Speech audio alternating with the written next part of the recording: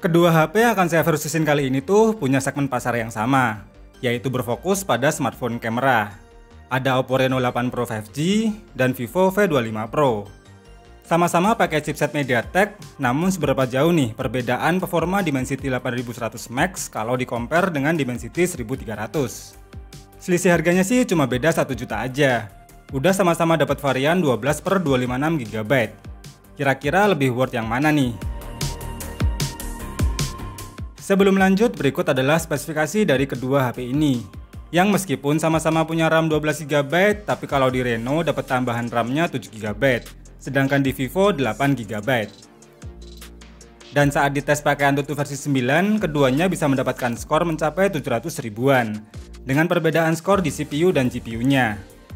Lalu untuk skor Geekbench 5-nya di single core V25 Pro lebih tinggi, namun di multicore Reno jauh lebih tinggi.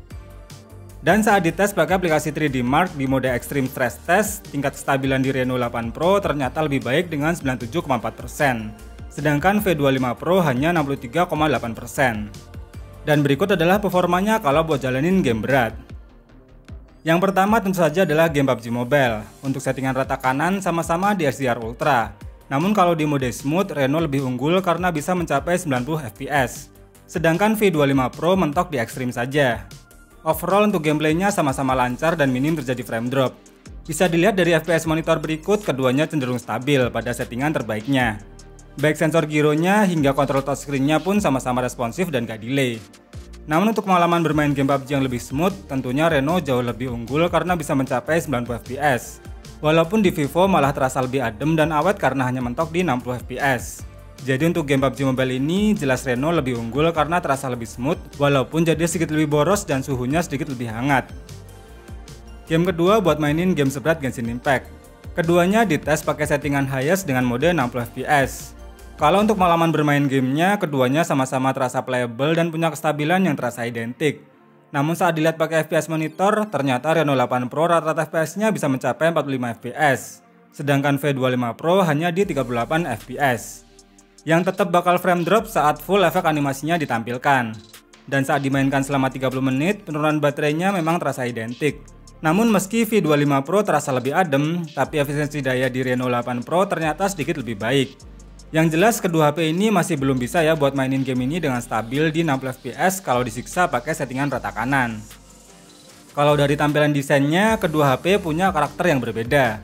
Buat yang suka desain layar lengkung, jelas Vivo lebih menarik. Tapi kalau yang flat jelas Renault lah pilihannya. Keduanya punya build quality yang sama-sama solid dan juga kokoh. Pokoknya kelasnya udah sama kayak HP flagship yang mewah dan premium. Sama-sama punya bezel yang tipis di semua sisi. Pokoknya mantep banget lah desain layar kedua HP ini. Untuk kualitas layarnya, Vivo lebih unggul dengan kecerahan mencapai 1300 nits, sedangkan Renault di 950 nits. Tapi sama-sama pakai layar AMOLED yang mendukung HDR10+, refresh rate 120Hz, serta fitur in-display fingerprint yang punya tingkat akurasi dan respon yang terasa identik. Sama-sama nggak dilengkapi audio jack, jadi kedua smartphone ini mengandalkan audionya pakai speaker atau TWS. Namun jika dilihat dari speakernya, Reno 8 Pro terasa lebih mantap dengan dual stereo speakernya. Walaupun kualitas mono speakernya V25 Pro juga nggak kalah mantep nih, kurang lebih kayak gini nih suaranya.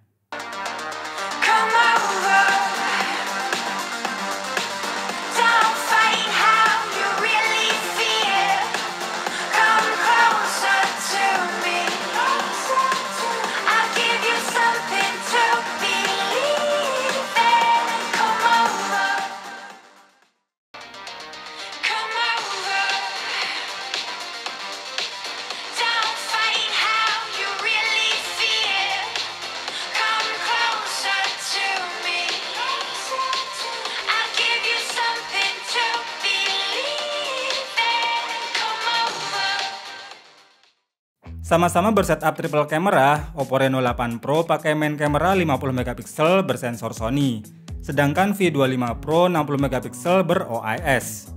Yang sama-sama didukung 8 megapiksel ultra wide dan 2 megapiksel untuk lensa makro. Untuk kamera depan sama-sama 32 megapiksel yang support autofocus dan ultra steady mode untuk recording videonya. Untuk kualitas main kameranya, di sini terlihat jelas perbedaan kualitasnya. Jujur secara sekilas kualitas fotografi dari Oppo Reno 8 Pro lebih baik dibandingkan Vivo V25 Pro. baik dari detail dan dynamic range-nya yang memang terasa lebih fleksib dibandingkan Vivo V25 Pro. Apalagi Oppo Reno 8 Pro ini juga sudah didukung dengan chipset Mari Silicon X yang jelas lebih tangguh dalam urusan pencahayaan. Dan sudah pakai sensor sekelas flagship dari Sony IMX766 yang tangguh dalam kondisi low light. Di sini bisa kita lihat meskipun V25 Pro menampilkan kualitas fotografi dengan warna yang vibrant dan tangguh sama backlight, tapi image processingnya terasa kurang alami sehingga membuat skin tone-nya berbeda dari aslinya. Sedangkan di Oppo Reno 8 Pro terlihat lebih natural, meskipun masih tetap bisa menghandle backlight dan pencahayaannya yang sama baik. Tapi untuk beberapa kondisi, memang sih beberapa orang bakal lebih suka dengan image processingnya Vivo, yang meskipun terlihat lebih vibrant, tapi lebih cocok kalau buat diposting sosmed karena nggak perlu repot editing lagi. Tapi jujur kalau saya pribadi lebih suka dengan kualitas fotografinya Oppo Reno 8 Pro yang lebih terasa natural. Begitu juga dengan kualitas bokehnya yang terasa lebih deep dibandingkan dengan Vivo V25 Pro.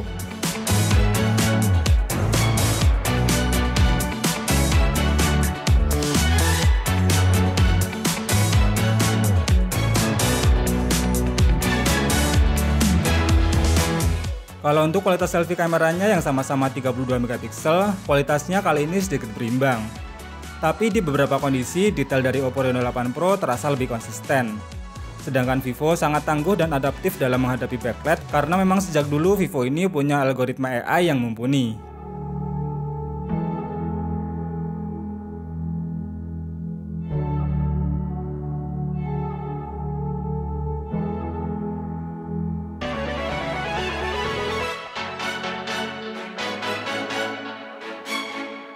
Nah, di mode malamnya, Vivo menampilkan detail yang lebih baik. Dengan noise yang lebih minim, tapi kompensasinya karena terlalu banyak image processing, tone warnanya jadi kurang natural dibandingkan dengan Oppo. Tapi untuk kondisi low light yang lebih dekat dengan sumber cahaya, karena masih bisa sama-sama menangani low light dengan baik, hasilnya lebih cakep dan natural Oppo Reno 8 Pro. Dibanding Vivo V25 Pro yang terasa agak overexposure di processingnya. Overall sih menurut saya Vivo cukup keren nih karena masih tangguh melawan sensornya Sony IMX766. Dan terakhir di video recordingnya, Vivo punya keunggulan karena bisa recording hingga 4K 60 fps. Sedangkan Oppo Reno 8 Pro hanya sampai 4K di 30 fps. Dan di Oppo Reno 8 Pro stabilisasinya tidak bekerja di mode 4K-nya. Karena di Vivo sudah punya OIS dan ACE, sedangkan Reno 8 Pro masih mengandalkan ACE saja. Jadi kita tes di 4K 30 fps tanpa menggunakan stabilisasi seperti ini hasilnya. Hai, nah ini tes yang kedua, tapi yang ini kali ini resolusinya di 4K 30 fps dua-duanya. Sambil jalan ya.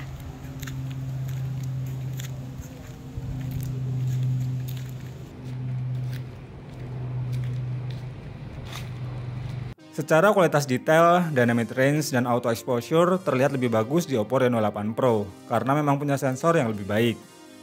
Kemudian kita tes juga dengan stabilisasi standar di 1080p seperti ini hasilnya. Di Vivo gambarnya terlihat cropping meskipun memang punya stabilisasi yang lebih baik dibandingkan di Oppo. Selain itu memang Vivo menyediakan lebih banyak mode perekaman video dibandingkan dengan Oppo. Kesimpulannya dari segi kualitas perekaman videonya Oppo memang lebih tangguh tapi soal fitur dan banyaknya mode, Vivo lebih unggul dibandingkan Oppo, khususnya karena absennya OIS di Oppo Reno 8 Pro.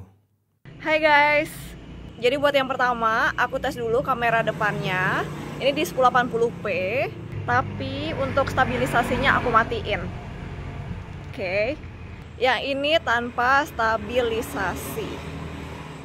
Terakhir untuk bagian baterainya nih, walau Reno 8 Pro kapasitas baterainya 4500 mAh, namun jelas lebih unggul dengan 80 watt fast chargingnya, yang bisa terisi penuh hanya dalam waktu 31 menit. Sedangkan V25 Pro kapasitasnya 4830 mAh, yang didukung 66 watt fast charge. Tapi kalau untuk ketahanan baterainya, setelah dites pakai aplikasi PC Mark, Reno bertahan selama 14 jam, sedangkan V25 Pro bisa bertahan selama 16 jam 45 menit. Jadi ada plus minusnya masing-masing ya guys. Memang ngecharge-nya lebih cepat di Reno, tapi efisiensi daya yang ada di V25 Pro terasa lebih unggul walau cuma selisih 300-an mAh saja. Kesimpulannya dengan sisi harga 1 juta, perbedaan kedua HP ini cukup terasa baik dari tampilan luar maupun dalamnya. Performa Dimensity punya Reno lebih stabil. Dari sisi kamera, Reno juga masih di atasnya Vivo. Walau Reno masih kalah dalam endurance baterai, tapi hal itu tertutupi berkat kecepatan charging yang lebih ngebut. Jadi kalau ada budget sih mending sekalian yang Reno ya guys.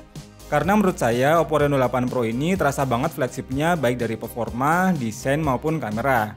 Dibandingkan V25 Pro yang masih terasa mid-range meskipun di beberapa fiturnya terasa flagship, khususnya di bagian layarnya yang curve. Jadi gimana guys menurut kalian? Tetap setuju kalau Reno 8 Pro lebih unggul atau V25 Pro masih tetap oke nih untuk dipilih? Tulis opini terbaikmu di kolom komentar ya. Terima kasih sudah nonton video ini sampai habis. Semoga bermanfaat dan sampai ketemu lagi di video berikutnya. Thank you.